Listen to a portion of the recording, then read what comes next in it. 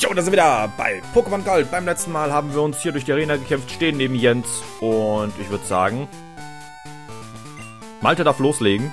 Ich kann noch mal kurz gucken, wie sind jetzt die Werte auf Level 24 bei beiden. 48 zu 47 an, ne, oder Spezialangriff 42, ein bisschen mehr Spezialangriff. Dafür hat Tyrakok ein bisschen mehr Verteidigung. Ja. Mir ist übrigens eingefallen, wir haben doch gute Chancen gegen Gengar. Gut, dass du gekommen bist. Hier in Teak City werden Pokémon verehrt. Man sagt, dass die Leg legendäre Pokémon nur, äh, nur wahrlich starken Trainern erscheinen werden. Ich glaube an diese Legende, daher habe ich mein ganzes Leben lang im Geheim trainiert. Als Resultat kann ich nun Dinge sehen, die andere nicht sehen können. Ich sehe tote Menschen. Ähm, ich meine, noch ein wenig. Mit ein wenig mehr könnte ich die Zukunft sehen, in der, in der das legendäre Pokémon treffe. Du könntest mir dabei helfen. Mir ist eingefallen, dass Gengar in dieser Edition ist sowas von nutzlos. Es hat nämlich... Ja, Spukball ist physisch. Gengar hat keinen physischen Angriff. Das ist wie seine Verteidigung, nicht existent. Von daher, hm, es könnte eigentlich noch gut gehen. So, das Nebulak hat Malte mal locker in einem Schlag weggeknabbert.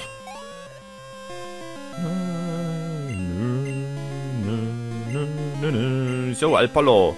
Welches von beiden? Das schwache erstmal, okay. Vielleicht erreicht Malte sogar noch Level... Nein! Nein! Moment, kannst du Traumfresser? Moment, nee, nee, nee, nee, nee. Äh, das Risiko gehen wir nicht ein. Sofort aufwecken. Nachtnebel. Na gut, immerhin nur 21 KP. Geht noch klar. Auf gleichem Level könnte Malte vielleicht sogar doch schneller sein als... Gengar kommt jetzt schon. Also ich Malte... Mhm. Es geht auf die Verteidigung. Verteidigung hat Tyrakok die bessere. Okay, los Tyrakok. Los, Triton. Das aussieht. Kommt, als würde es gerade reinkommen. Hi. Ich bin der Boss. Surfer. Oh, gut, das hat dich getroffen.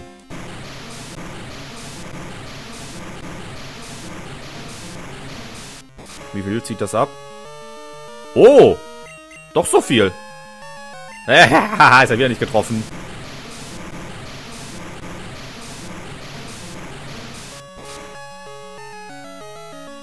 Ein Surfer noch. Hm. Dann trifft er doch. Triton schläft. Hm. Tief und fest. Egal, wir haben noch Aufwecker. Denn jetzt kommt wahrscheinlich der Traumfresser. Ja, es war so klar. Du bist so durchschaubar, Gengar. Aber das hat dir nichts gebracht, denn du bist weg. okay, aber ich muss sagen, ich habe auch Glück gehabt, dass die Hypnose jetzt mehrmals daneben ging. Hui, das ist eine Menge Erfahrung. Das letzte Apollo, das kann Malte nochmal machen. Dann erreicht er auch sein Level 25. Also, hat es wahrscheinlich nicht gemacht, aber belassen wir es mal dabei. Bis! Nachtnebel.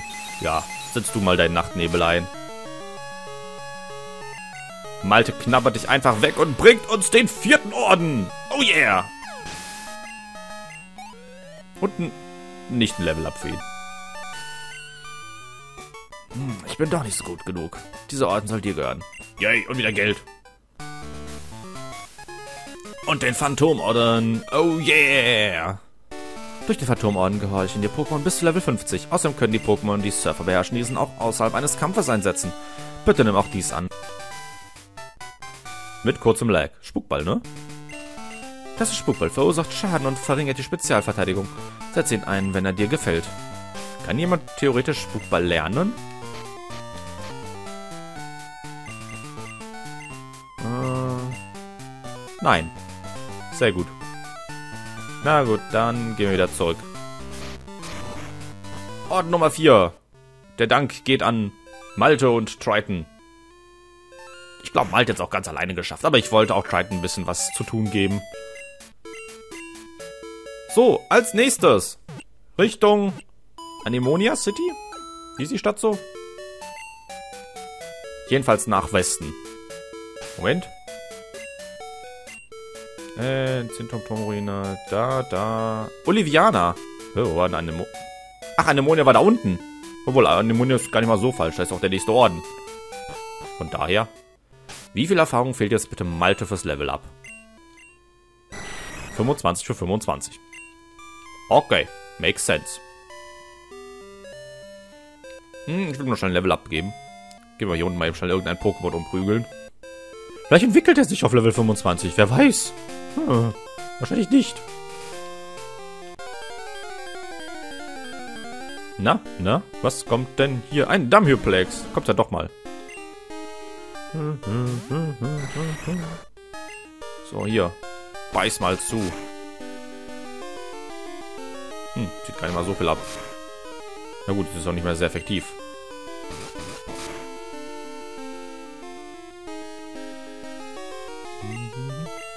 Mir geht der Silberbild hier verdächtig oft daneben, oder? Ist das später auch immer so gewesen? So, Level 25. Keine Entwicklung. Schade. Aber damit ist Malte erstmal genug trainiert. Jetzt erstmal wieder Millie und Sylph dran. Ne, wobei Millie bekommt noch mehr als genug Training. Der bekommt endlos Training. Und das wird es auch brauchen. Also Millie und Sylph sind unsere Pokémon für die nächsten Arena. Und... Ui, coole Musik. Und äh, Millie wird auch entwickelt sein bei der nächsten Arena. Vorher gehe ich da nicht rein. Weil ich weiß, was da kommt. Und das ist böse. So, holen wir uns erstmal ein neues Pokémon.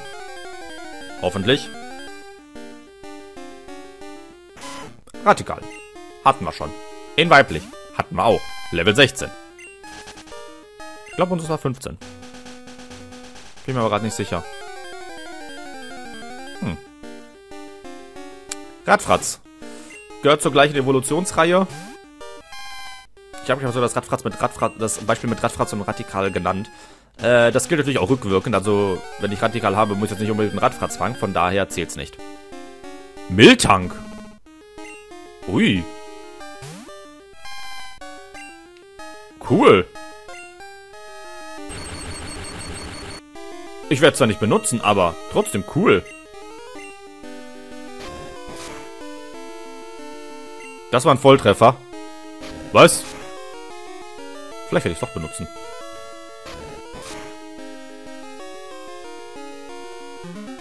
Ich glaube, wir schwächen es noch ein bisschen weiter runter.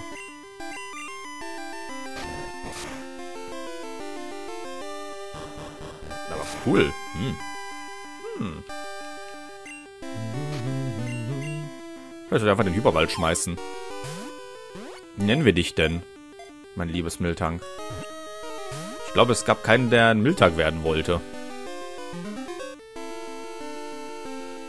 Ich habe eine Person dabei, sie wollte äh, irgendwas einfach werden. Soll ich es mir einfach aussuchen? Hm. Ob sie ein Miltank sein möchte?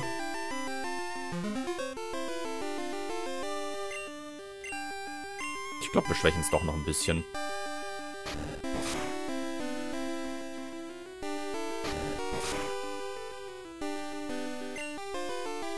Ich glaube, ich nenne das Miltank nach ihr. Ja. Es ist weiblich. Es ist ein starkes Pokémon. Und es ist drin.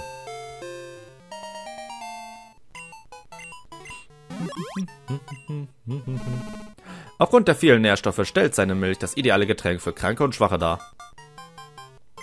Das ist quasi eine Krankenschwester. So. Unser Miltank heißt Sere.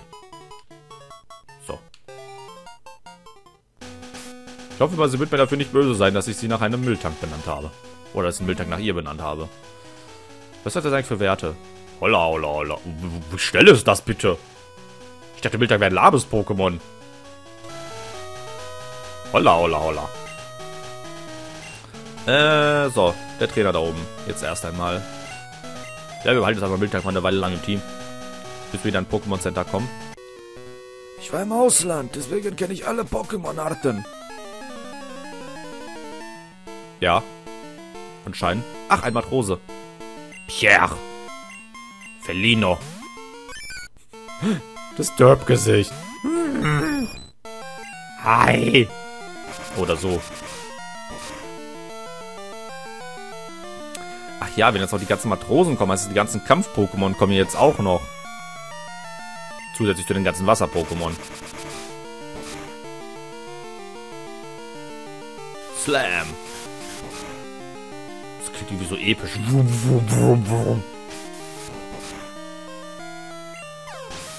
Unnecessary Crit. Oh yeah. Deine Fähigkeiten sind Spitzenklasse. Sind wir nicht sogar gleich... Ich wollte gerade schon sagen, bei der Lonlon Farm. Nee, bei der Miltank Farm. Ranch, Miltank Ranch. Bist du ein guter Trainer? Wenn ja, zeigst du mir, wie man ein guter Trainer wird. Kämpfen, kämpfen, kämpfen. Und seine Pokémon gut behandeln. Und nicht sterben lassen. Und Bianca töten. Äh, ich meine besiegen. Vati. Nee. Da schicken wir unser eigenes Vati entgegen.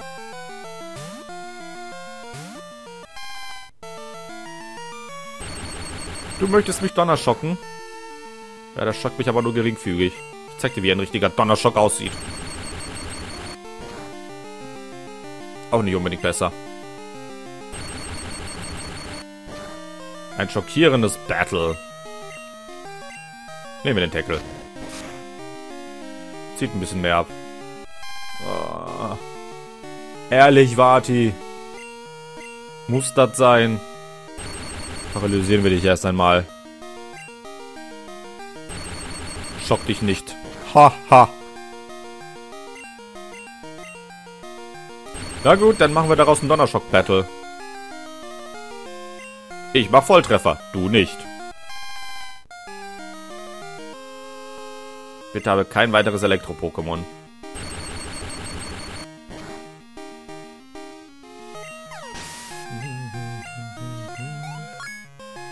Und Level 24. Noch 6 Level. Ein Ein ist gut. Das kann Millie ganz locker umhauen. Jo. Locker. So, Gö, Rosmarie wurde besiegt. Ich verstehe, so kämpfst du also. Ja. Ich besiege Pokémon. Du blockierst mir gerade den Weg, du Idiot. Jetzt probiere ich etwas aus, was ich heute gelernt habe. Pokémon kämpfen? Also wenn du es heute erst gelernt hast, dann bist du zehn Jahre zu spät. Zehn Jahre? Kommt das hin?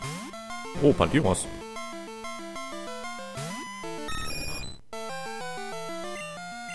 Das kann hoffentlich nichts Böses. Meditation. Ja, es stärkt nur seinen Angriff. Wobei es keine physischen Attacken hat. Keine guten. Nicht, dass ich es wüsste. Das ist nicht sehr physisch. Aber dürfte wehtun. Ja. Äh, zehn Jahre? 2003? Ne, noch länger. Wann habe ich Pokémon zum ersten Mal gespielt? Fünfte Klasse?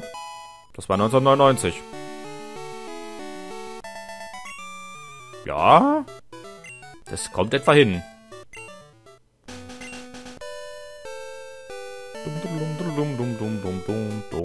Bah.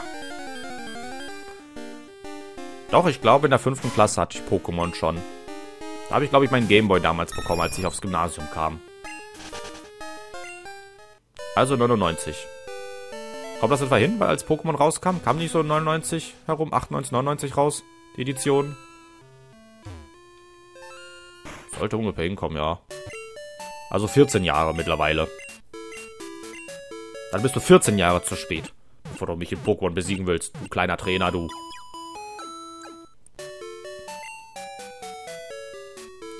Lassen wir Serie erstmal noch auf der Box. Ich habe auf jeden Fall eine Menge guter potenzieller Pokémon für später, die ich eventuell mal trainieren möchte. Wenn ich mal jetzt mal so einfach nur so durch die Box schaue. Äh, Aaron eher nicht, Taxo auch nicht, Derp. Derp vielleicht? Prepedo vielleicht? Mifi? Psi? Cheetah Man? Hä? Moment. Wir hatten schon einen Raupi. Stimmt ja, das war unser Stinky. Ups.